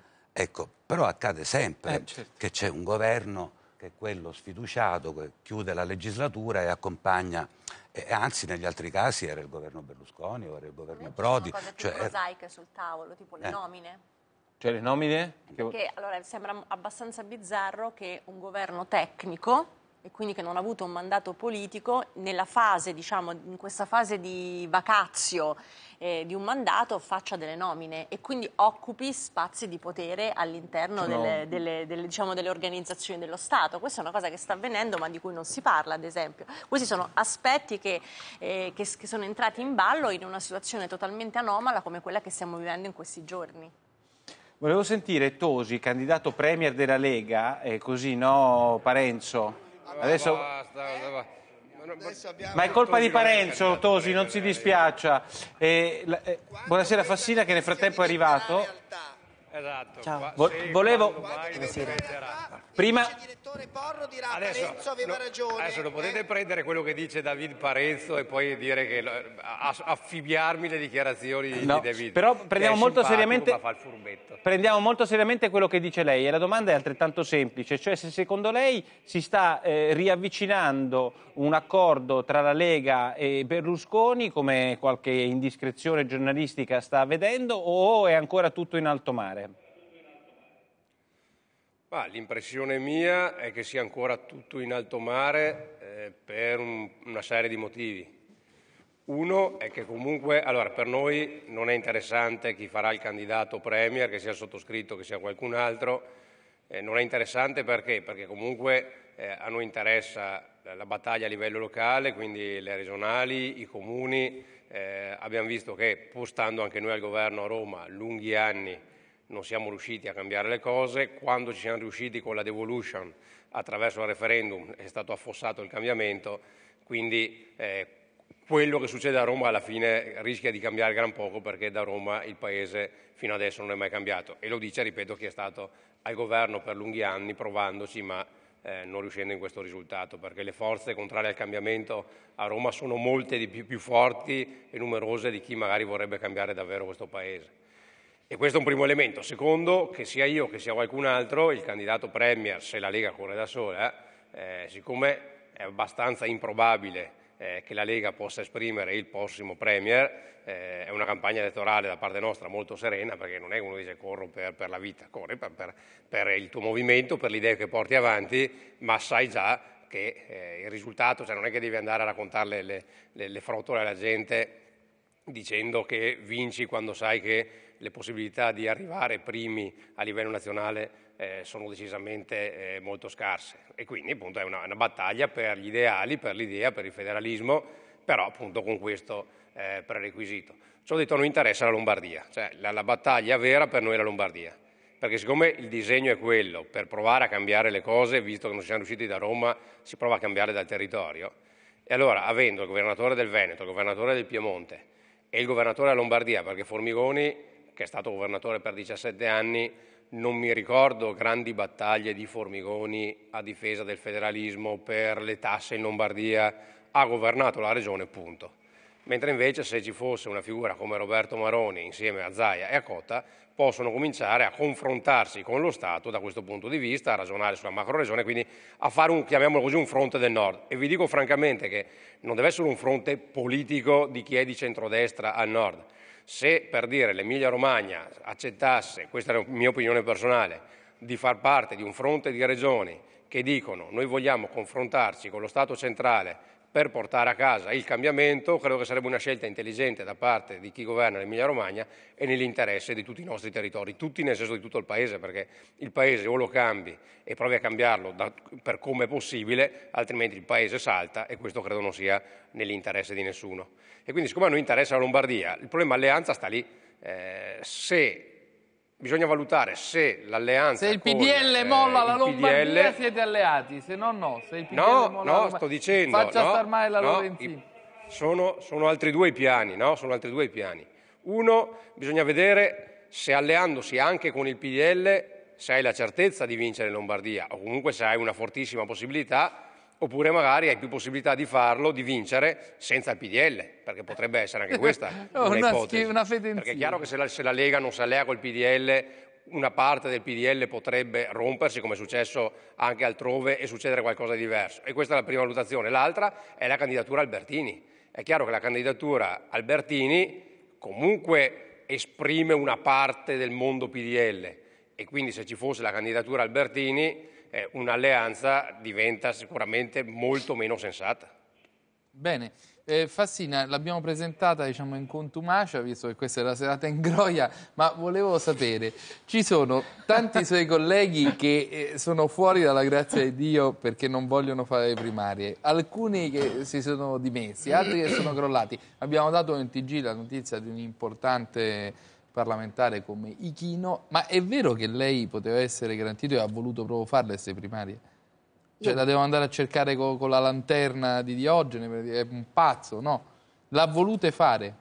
Ma noi abbiamo posto, alcuni di noi hanno posto il problema che di fronte a una legge elettorale che abbiamo sempre giudicato pessima in quanto non consente ai cittadini di poter scegliere il loro parlamentare, ci dovesse essere un passaggio ehm, attraverso le primarie per la selezione dei candidati del Partito Democratico. E quindi con un filo di coerenza ci sottoponiamo a, a questo Fassino, passaggio. Lei si sottopone, mi scusi se L'unico. No, abbia no, non dica ci sottoponiamo. no, eh, mi spiace che, che- che- che lei è il, no- è il nostro interlocutore, ma lei si sta sottoponendo No, a questo no, passaggio perché pare che ci siano un centinaio, cento... 119, perché lui sarebbe il 120esimo. Quindi No, cioè lei è 119. uno dei pochi No, che no, si vi, dico, sottopone. vi dico i numeri, vi dico i numeri Ecco. corretti, che non sono quelli che, Eh. avete, che avete detto. Le- Ok. le, mh, la quota riservata riguarda il 10%, quindi eh, la stragrande maggioranza dei parlamentari che verranno eletti saranno passati per le primarie. Poi permettetemi di dire pure un'altra cosa. Ehm, quella quota è largamente riservata a soggetti della società civile, a soggetti del mondo della cultura, delle professioni, dell'impresa, del, del sindacato, quindi solo una parte verrà riservata a, a dirigenti di partito, ex Daverio si è fatto la sua compagna elettorale, ha fatto l'assessore, insomma, eh, eh, le- persone della cultura non è che non si sottopongono anche alla, diciamo, al consenso No, eh, democratico. No, no, certo, certo. non Poi lo dico a lei detto- che invece non- addirittura non dico- è stato fuori dal Parlamento, ha fatto il responsabile economico e insomma... eh, Ma ehm, mi c'è spiace anche... polemizzare su questa cosa con No, lei che no, non è la persona giusta. Tra l'altro Ichino se ne va in polemica con lei, questo lo possiamo dire, no? Ma io credo... In polemica credo- con la linea economica e quindi Credo lei. di essere oggetto di una personalizzazione che non Ah. aiuta. Il, ehm, io ho cercato di dare il mio contributo in questi anni. Eh, le decisioni le prende collettivamente il Partito Democratico, non è che la linea Quanto di un spende grande- per la campagna elettorale? Dica la verità e poi andiamo a controllare i bilanci. Zero. 100.000, 50.000? Zero, primarie. Sì, tre manifesti. Non li facciamo i manifesti, non, eh, eh, nel regolamento è previsto che non si, possono, non si possono fare i manifesti, come? No, dico, mi sembra una campagna in 15 giorni, ora non lo dico per, per lei, ma anche sentendo molti suoi colleghi, ma in 15 giorni senza manifesti, sotto Natale, con, con la- diciamo, il il prerequisito degli iscritti del partito che devono dare la, la, diciamo, sottoscrivere la candidatura, vanno a votare solo gli iscritti No. e quelli che hanno votato alle primarie. hanno- e quindi è cosa, è un ambito molto, però, è un sì. ambito, sì, ma è un ambito molto ristretto. Come il molto 29 e il ristretto? 30 dicembre Sì, ho capito. dai, vinceranno le, le- le strutture, la segreteria, Vabbè, la allora segreteria vuol di dire- Bersani, cioè, cioè, è, una- è un'operazione che ma guardi, non facilita credo- molto la struttura di Bers- bersaniana. Ma Eh, non, questo non lo eh, dico io, lo dicono tutti i suoi colleghi alla Camera che eh, vivono so con momenti quali- di tensione. con quali Meglio che non colleghi- faccio i nomi, No, se no troviamo non lo altri so problemi. vuole No, facciamo i nomi. Già c'hanno anche Se le primarie. fosse- Florentin, Se fosse- faccia che se- ce lo dica una di queste no, anime killer qui. in Se così facile, credo... Cioè, Eh. due L'onorevole. Bindi ha cambiato regione per eh, Eh, avere... L'onorevole Bindi fa le primarie, è un dirigente nazionale, non non è Sì, ma prima- a partiti. le primarie, ma no, guardi, siccome c'è rispetto per chi comunque si fa le primarie, anche se sono un po' però eh, ha cambiato regione per poter avere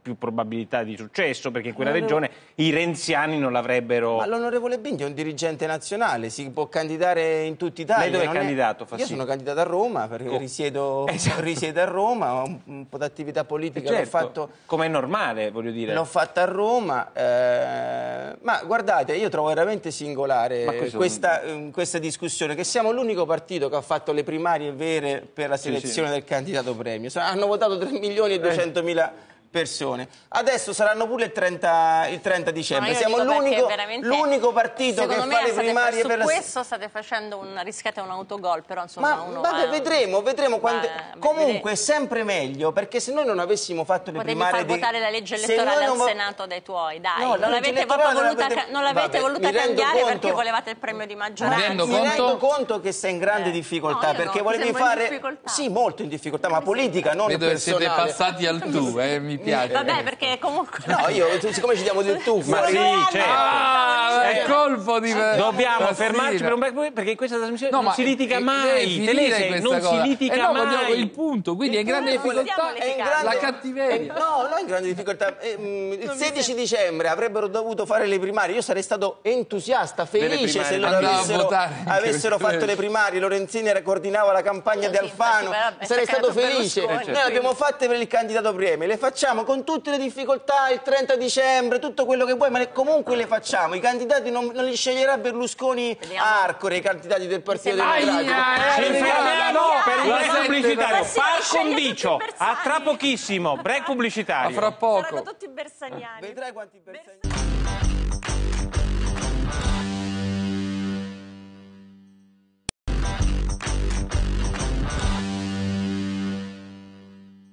Allora, il momento che tutta l'Italia e anche la galassia attende la settimana di Vergassola con incursioni sui nostri ospiti e licenza di uccidere. Vai Dario dalla Luna.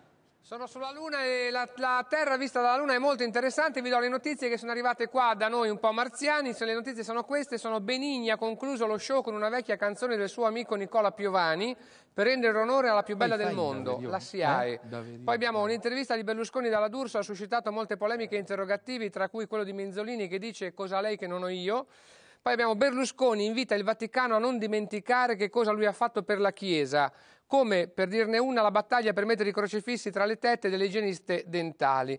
Poi abbiamo la russa, è uscito dal PDL, Alfano ha chiamato un esorcista, Crosetto e la Meloni attaccano Onoio, Scagliola e Dell'Utri, i quali volendo potrebbero fondersi e fondare un loro partito Casa Nostra.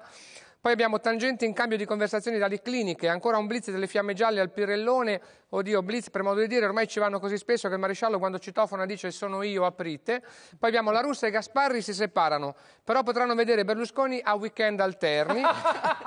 abbiamo, non Questa ridete. è stupenda! Chi te? Bersani dice se Monti scende in Guarda, campo guarda, saranno aspetta, evit- la Lorenzin non aveva riso nessuna finora, questa, sulla Russia e è un Gasparri, che sono fuori dal partito. Come sei ortodossa, È un Beatrice? dramma tra i due, è un dramma personale, cioè No, una Beatrice- amicizia di tanti anni. Beatrice, la faccio ridere con questa. Bersani dice: Se Monti scende in campo sarà inevitabile uno scontro frontale. Io che mi illudevo ancora che il PD arrivasse da sinistra. Poi c'è Monti, ha fatto visita a Marco Pannella. Ha detto che le sue condizioni sono molto serie, ma non quanto quelle della Grecia. Poi abbiamo il Movimento 5 Stelle avrà un portavoce e non un candidato premier. Anche noi fa rispondere Berlusconi al suo pupazzo Alfano.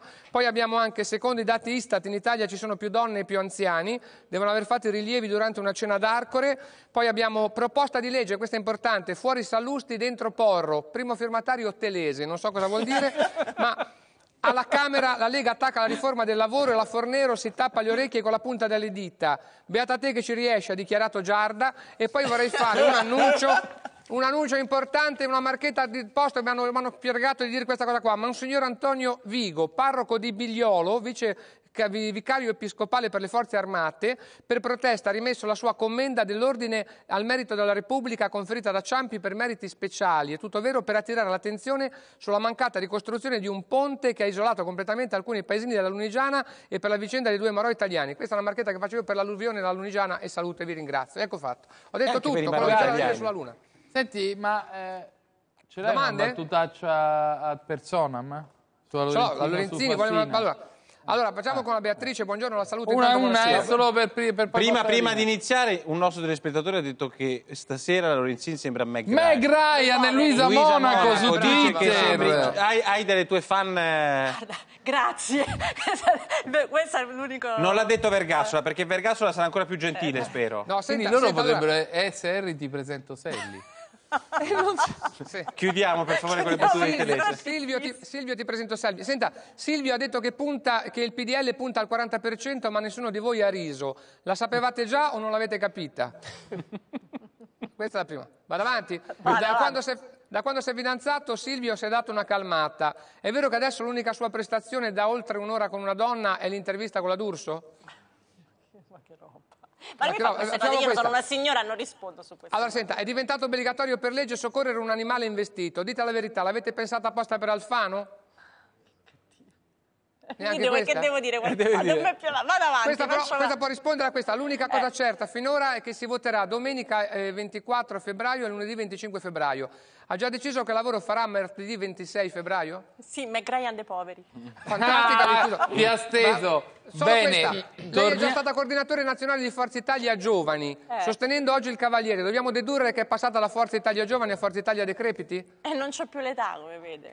Vabbè, Però fatto fatto- lì. Allora io vorrei andare al- dal nostro mitico David e chiedere come ci vede un occhio come Daverio dopo che abbiamo parlato di costruzione, di politica di primarie, che cosa state vedendo da là? Sia indulgente, Daverio, la prego.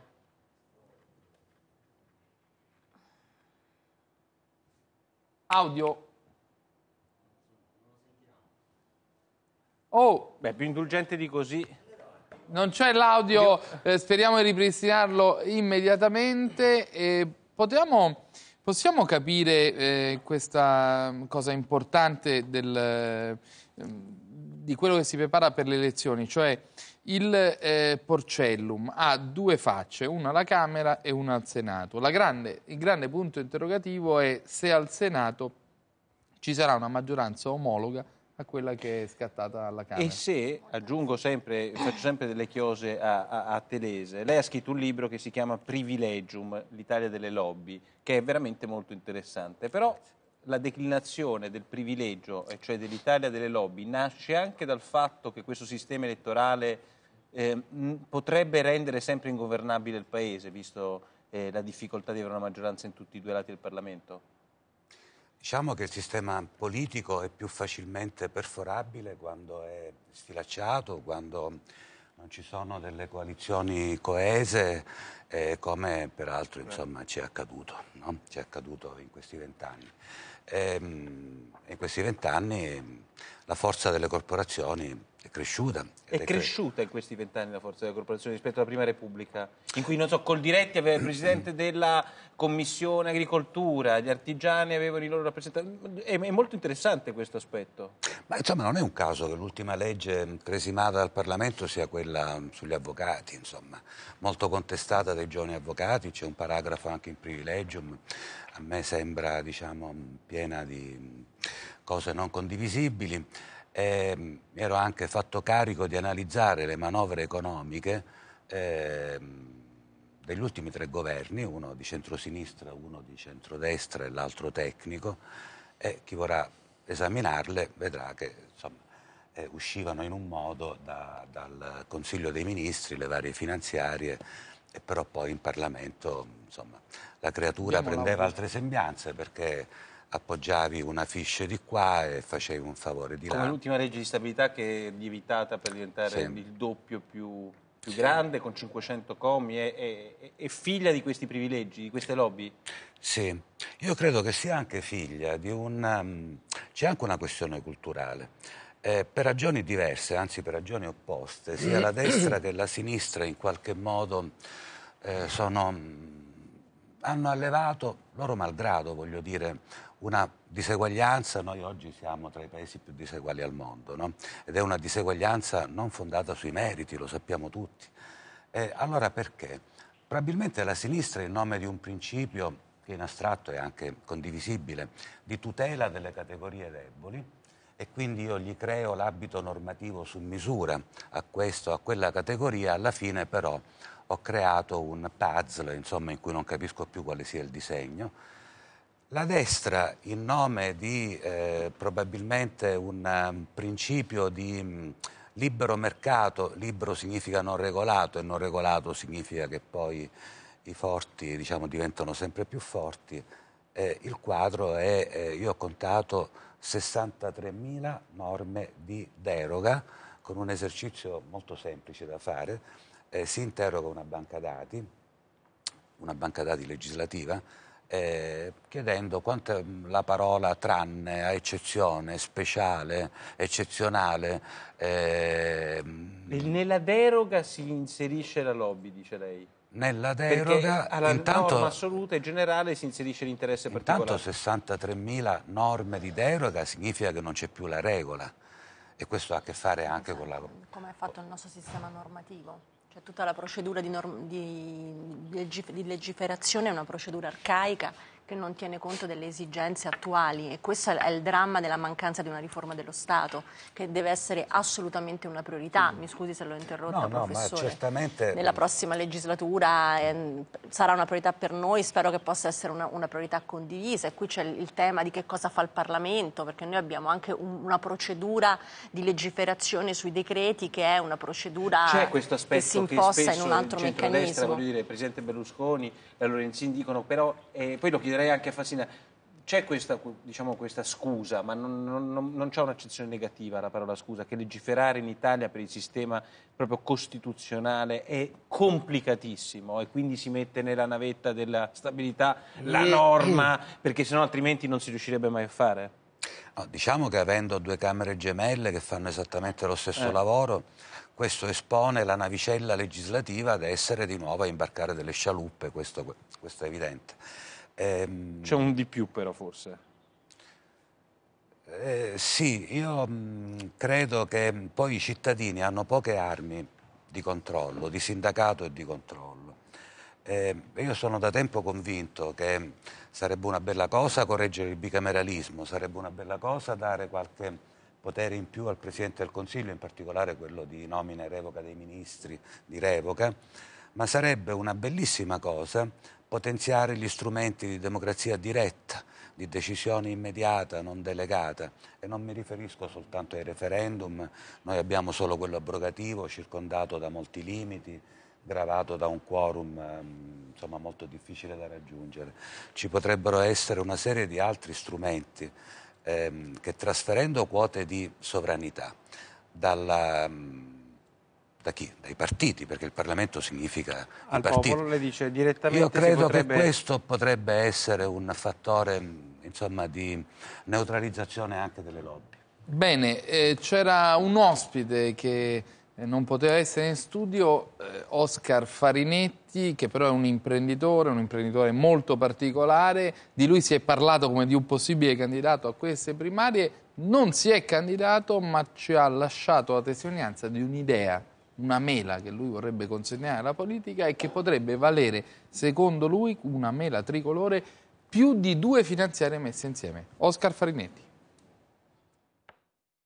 Essere con Oscar Farinetti a Italy è come essere con un prete in una cattedrale, con un sacerdote sull'altare e tu vuoi partire da una mela per spiegare il mondo. E quindi Newton. mi fai fare la predica anche La a me. eh Sì, certo. Tu pensa ai preti che fortuna che hanno. Ogni domenica 10 milioni di persone vanno a messa. E il secondo media, dopo, il secondo medium, dopo la televisione c'è la predica della domenica. Quindi ti faccio una predica. Però tu Di hai cosa vuoi tanti che parli? fedeli. Delle mele? Della mela, perché tu hai questa idea della mela, la mela Guardate- tricolore. Guardate qui le mele, le mele di Italy, le mele Golden Delicious, le mele Fuji, le mele, tutte mele italiane, eh, chiaramente. Sai che ci sono 232 tipi di mele in Europa? No. Di cui 90 in Italia. La mela è, è il frutto più venduto. Sai perché voglio parlarti della mela? Perché secondo me la mela ci può, ci può far raddoppiare le esportazioni dell'agroalimentare del centro del mondo. raddoppiare. Sì. La mela. Ti do due numeri. Noi quest'anno esportiamo 30 miliardi di cibo, 30 miliardi di eccellenze agroalimentari. È un Come successo una enorme, finanziaria. Enorme. Cioè l'Italia che è in difficoltà sulle esportazioni, in generale un po' sull'agroalimentare, sfonda, eh, sfonda il tetto dei 30 miliardi. Questa è una notizia enorme. Tu pensi, ci sono 30 miliardi di prodotti veri italiani che vanno nel mondo e si calcola che siano 90 miliardi i prodotti cosiddetti Italian sounding, cioè il parmesan, il eh, sammarzan, Tarocchi, le imitazioni. tarocchi. 90 c'è una voglia di cibo italiano misurabile a questo punto in 120 miliardi che è un patrimonio immenso per noi da sviluppare. Noi dobbiamo convincere questi signori che comprano 90 miliardi di cibo italiano finto comprare quello vero. Che come facciamo a convincere a comprare quello vero?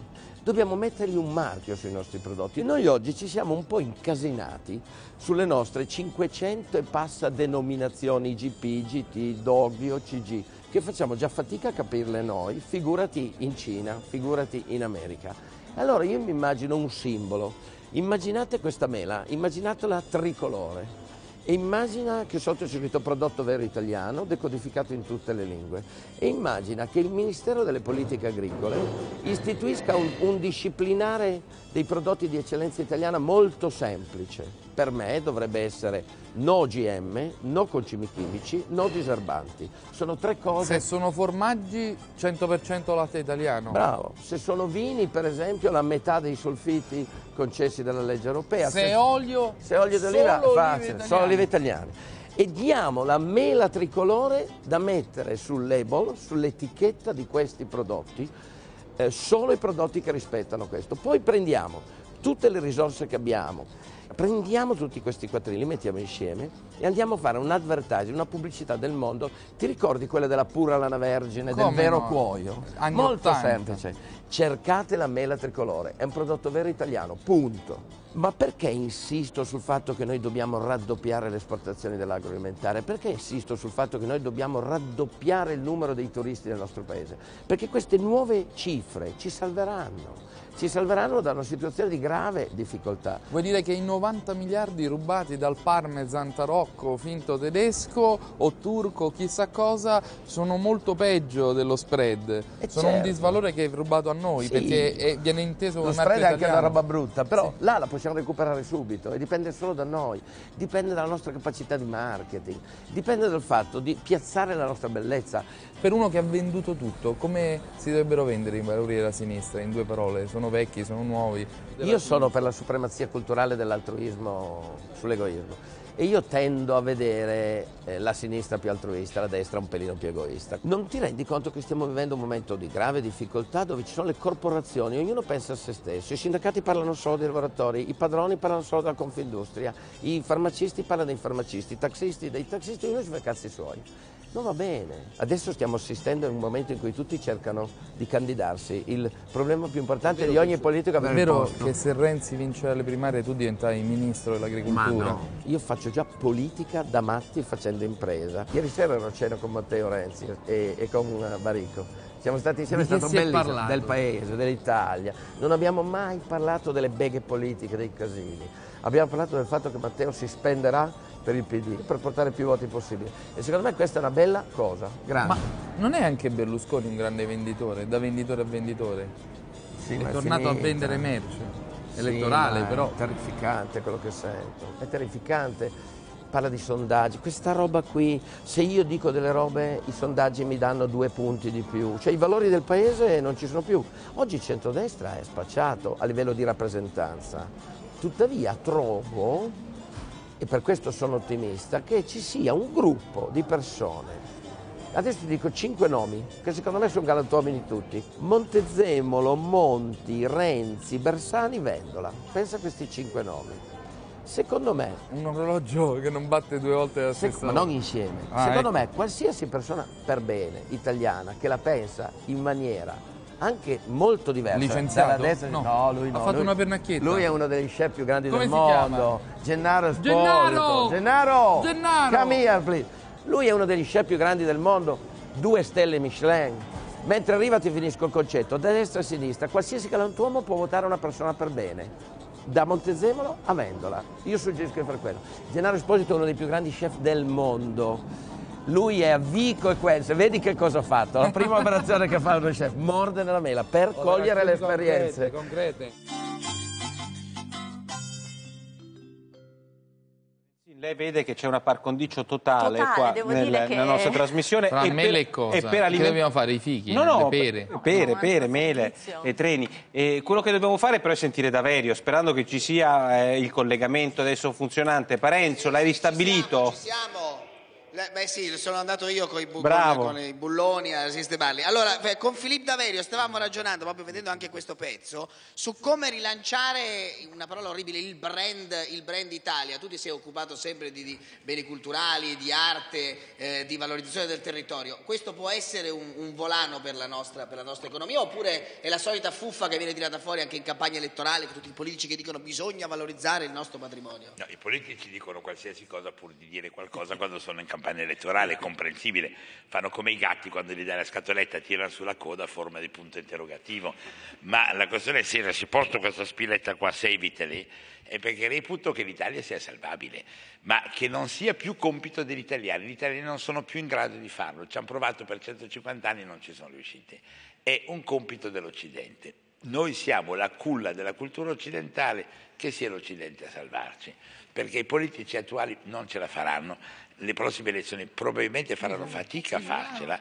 La questione che ho sentito dibattere prima fra la rappresentante del PDL e eh, il costituzionalista, lui che diceva è difficile dire governare con il nostri Porcellum, talenti. Lei Mi Sì. scusi, ma come fa a dire che l'Italia deve essere salvata dall'Occidente? Vuol dire che noi abdichiamo dalla nostra capacità di autodeterminazione. La Lorenzin dice che, eh, la Lorenzin dice che eh, sostanzialmente eh, queste leggi sono il risultato di, un- di una cultura arcaica eh, di governo. Non è vero né l'uno né l'altro, l'Italia di oggi è oggettivamente ingovernabile ed è oggettivamente arcaica. Per questi motivi accetta volentieri una normativa di tipo arcaico e un porcellum che rende il paese ingovernabile. Non è ingovernata per colpa del porcellum, il porcellum c'è per colpa dell'Italia, perché nessun paese occidentale avrebbe potuto tollerare il porcellum più di sette minuti e nessun paese d'Occidente potrebbe che rimanere così arcaico senza prendere i forconi. Questo è il dato dal quale bisogna avere coraggio di partire, se no ci nascondiamo dietro il dito. Siccome noi due, almeno Shapiro e io, non facciamo politica, non, ci Non è nascondiamo detto, de- non è detto. No, Facciamo parte delle menti dei guru che rompono le scatole ai politici. La nostra funzione è altra, è quella di rompervi l'anima e di darvi delle indicazioni. Poi voi fate la politica, perché noi vogliamo che rifacciate la politica. Sono anche, diciamo prima, io sono molto felice che siano tornate le primarie, perché finalmente i partiti non sono più proprietà private, cioè hanno cessato di essere delle bande medievali con un capitano di Ventura che li guida. All'interno dei partiti è stato fantastico Renzi, io mi sono battuto a favore di Bersani contro Renzi, ma sono grande sostenitore di Renzi perché ha ridato spazio alla politica in un partito. Mi piacerebbe che questo fenomeno avvenisse anche nel PDL, perché no? Sarebbe bello che ci fosse della politica anche con Cichito intimo. Vi immaginate la figura di Cichito che entra nel mondo della politica? Sarebbe formidabile. La politica sta per fortuna tornando nel mondo della Lega, per la quale ho affetto, cioè la, la figura finale del Trotta che si fa dare i rimborsi toglie definitivamente dalla Lega alcune figure che si sono trasformate in figure di politicanti e riobbliga la Lega a far politica. Io voglio che l'Italia torni a far politica, voglio che l'Italia torni a far politica e che smetta di essere arcaica e smetta di essere con la difficoltà di essere governata. Chi fa politica è sempre in grado di governare. Noi vogliamo ritorno alla politica. Ma tu fino a poco tempo cosa. fa eri un sostenitore di Monti, di questo governo molto sobrio, di molto- tecnici. ah. Lo hai sostenuto in una puntata qualche mese Sì, fa proprio in onda sì, dicendo a- evviva il lode sì, di Monti. A me Monti è simpatico perché io oggi in politica amo delle caratteristiche precise. Mi piacciono i politici che hanno la stessa moglie da vent'anni almeno e che portano decorosamente la cravatta senza avere i vestiti troppo esageratamente costosi. Quindi mi piace il Presidente della Repubblica che ha queste caratteristiche, mi piace il Presidente del Consiglio e mi piace il Bersani che è vestito da buon impiegato emiliano. Bene, noi ci fermiamo. Noi da buoni impiegati invece della 7 dobbiamo invece chiudere per un break pubblicitario. Ci vediamo tra Ma torniamo subito dopo. Eh certo, Eh. per forza, c'è anche Shell.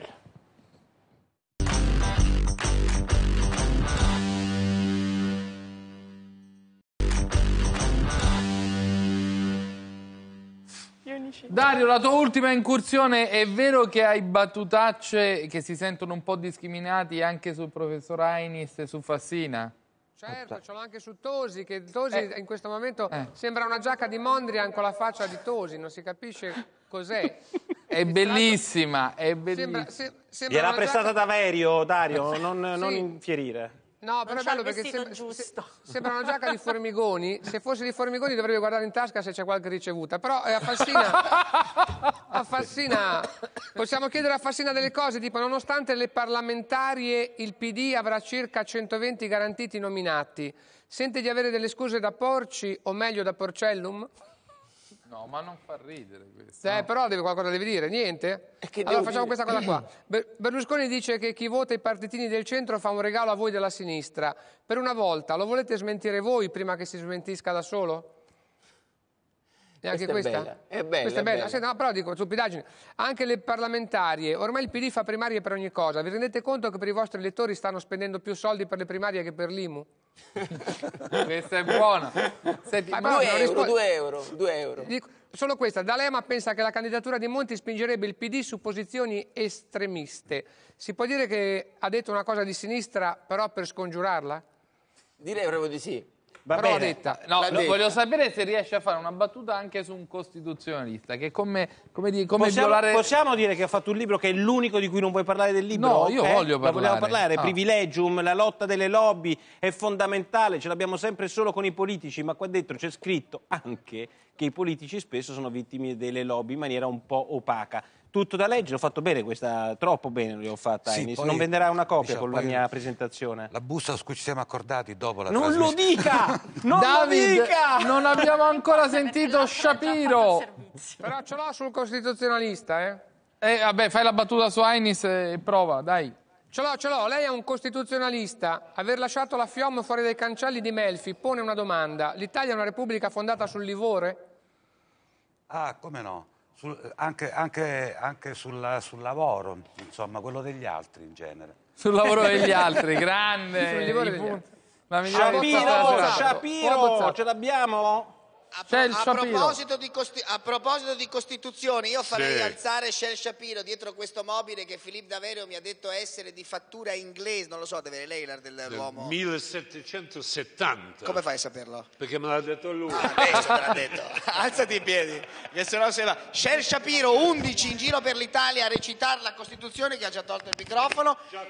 Già tolto il microfono, eh, tu hai sce- sceglici tre, i tre articoli che ti sembrano da inglese. Ma sì, ma perché bisogna... Tu sei cittadino italiano o no intanto? Io sono cittadino Bravo. italiano. Da quanto? Certo, da otto anni Quindi puoi votare. dovrei votare, andrò a votare. ma non dire perché. Vabbè. no, ma è un diritto, ragazzi, è un diritto conquistato ed è un dovere. Costituzione. È un dovere, vero? Ma cosa gli fai?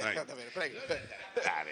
L'Italia è una repubblica democratica fondata sul lavoro e la sovranità appartiene al popolo, cioè noi. Articolo 2. La Repubblica riconosce e garantisce i diritti inviolabili dell'uomo, sia come singolo sia nella formazione sociale. Articolo 3. Tutti i cittadini hanno pari dignità sociali, tutti, e sono uguali davanti alla legge, senza distinzioni di sesso, di razza, di lingua, di religione, opinioni politiche, di condizioni personali e sociali, senza alcuna distinzione.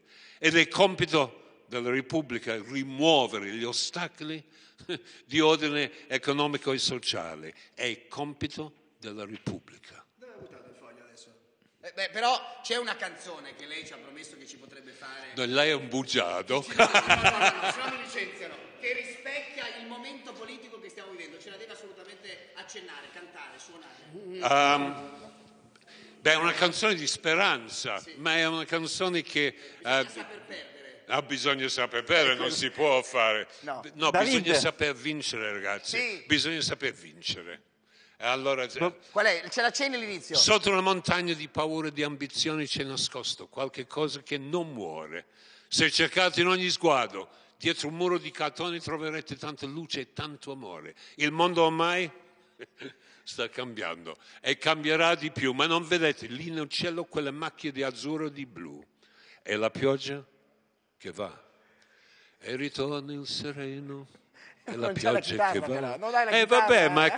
Anche Shapiro- senza la chitarra più Shapiro cuore. e purtroppo con Parenzo dobbiamo concludere questa puntata, scusarci con Fassina e la Lorenzin perché avremmo voluto chiedere cose molto più politiche, molto più tecniche a voi. Domani è la giornata clou, noi saremo in onda per raccontare esattamente quello che farà Monti. cercare- Con... E non lo sappiamo ancora. Non, non dire mai nulla. Quello che siamo certi è che domani Monti dirà che si candida con il PD di Bersani. Questa è l'unica certezza che abbiamo. Grazie, E noi ci buonasera. vediamo, a parte le battute, domani sera la giornata clou Monti e il- la sua conferenza stampa e vedete con ospiti interessanti in studio. Buonasera da Nicola Porro e saluti a tutti.